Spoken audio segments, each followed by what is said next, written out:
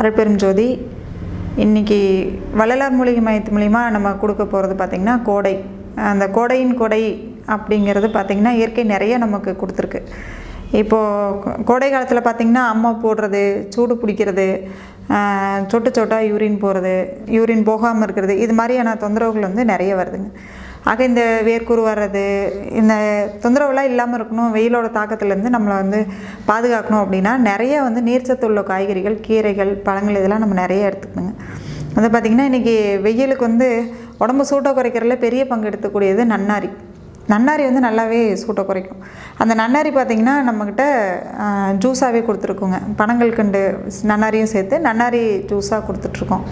அடுத்து பார்த்திங்கன்னா வில்வ பழத்தில் ஒரு ஜூஸ் கொடுக்குறாங்க. வில்வம் வந்து நல்லா உடம்பு சூட்டை குறைக்கும். அதுக்காக வில்வ பழத்தில் ஒரு ஜூஸ் கொடுத்துட்ருக்குறோம். அப்புறம் கத்தாழையில் ஒரு ஜூஸ் ஒன்று நம்ம கொடுத்துட்ருக்குறோம். ஜீவசக்தி அல்வா அப்படின்னு சொல்லிட்டு ஒரு ப்ராடக்ட் இது எல்லாமே வெயிலோட தாக்கத்தை குறைக்கிறதுக்காக கொடுத்துட்ருக்குறோங்க. இதெல்லாம் பார்த்திங்கன்னா வாரத்தில் ஒரு ரெண்டு நாள் எண்ணெய் தேய்ச்சி நம்ம குளிக்கலாம். எண்ணெய் தேய்ச்சி குளிக்கிறதுனாலையும் உங்களுக்கு உடம்பு சூடு வந்து நல்லா குறையும்.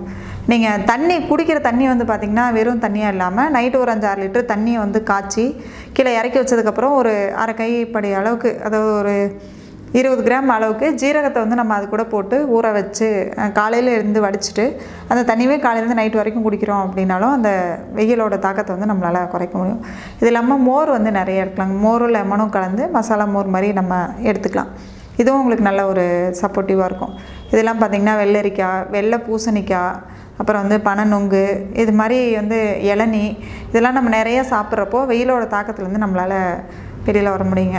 அடுத்து பார்த்திங்கன்னா மண்குளியல். மண்குளியல் வந்து நீங்கள் எப்படி வந்து ஃப்ரிட்ஜு ஏசி யூஸ் பண்ணால் சில்னஸ் இருக்கோ அந்தளவுக்கு உடம்பு வந்து சில்லுன்னு வச்சுக்கக்கூடிய தன்மை வந்து மண்குளியலுக்கு இருக்குது அந்த மண்குளியல் வந்து உங்களுக்கு புத்துமண் கிடைக்குது அப்படின்னா நீங்களே புத்துமண்ணை எடுத்துகிட்டு வந்து அது கூட கொஞ்சம் சாரெல்லாம் மூலிகை சாரெல்லாம் ஏற்றி நீங்களே பயன்படுத்தலாம். இல்லை எங்களுக்கு புத்துமண் கிடைக்காது நாங்கள் சிட்டியில் இருக்கோம் அப்படிங்கிறவங்களுக்கு புத்துமண் பேக்கு நாங்களே கொடுக்குறோங்க.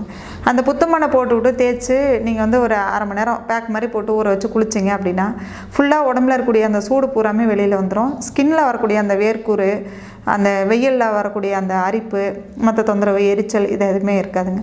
அங்கே மண்குளியல் வந்து உங்களுக்கு நல்ல ஒரு சப்போர்ட்டிவாக இருக்கும். இதுக்கு மேலே பார்த்தீங்கன்னா ஒரு ஆறு இருக்குன்னா ஆற்றுல போய் குளிக்கிறது இல்லை வீட்டிலேயே வந்து தொட்டி நிறைய தண்ணி நிரப்பிட்டு அந்த தொட்டி தண்ணிக்குள்ளார வந்து ஒரு ஆஃப் அன் ஹவர் இருக்கிறது. இது மாதிரியான நீங்கள் வந்து அந்த இயற்கை வாழ்வியல் நடைமுறைகளை பயன்படுத்துனீங்கன்னா வெயிலோட தாக்கத்துலேருந்து வெளியில் வரத்துக்கு நல்ல சப்போர்ட்டிவாக இருக்குங்க. உங்களுக்கு இதை பற்றி ஏதாவது ஆலோசனை தேவைப்படுச்சுன்னா கூப்பிடுங்க. நாங்கள் ஆலோசனை சொல்லறதுக்கு ரெடியாக இருக்கோம். நம்ம வள்ளலார் மூலிகை மையத்திலிருந்து இயற்கை வாழ்வியல் மையம் அப்படின்னு சொல்லிட்டு ஒன்று ஆரம்பிச்சிருக்கோங்க. இந்த இயற்கை வாழ்வியல் மையத்து மூலிமா நம்ம ஒவ்வொரு ஊர்லேயுமே பார்த்திங்கன்னா நம்ம ஒரு ஆலோசனை அப்படின்னு சொல்லிட்டு வச்சுருக்கோங்க. மருத்துவ ஆலோசனை இயற்கை மருத்துவ ஆலோசனை நாங்கள் கொடுத்துட்ருக்கோம். அது ஒவ்வொரு ஊர்லேயும் நமக்கு ஒவ்வொரு டேட் வந்து நாங்கள் ஃபிக்ஸ் பண்ணியிருக்கோங்க அந்தந்த டேட்டு இப்போ சென்னையில் ஒரு டேட்டு நாமக்கல் ஈரோடு இது மாதிரி ஒவ்வொரு இடத்துலையும் ஒரு டேட் ஃபிக்ஸ் பண்ணி நாங்கள் வந்து கன்சல்டிங் கொடுத்துட்ருக்குறோம் உங்களுக்கு கன்சல்டேஷன் தேவைப்படுது அப்படின்னா நீங்கள் ஸ்க்ராலிங்கில் போகிற நம்பர் கூப்பிடுங்க.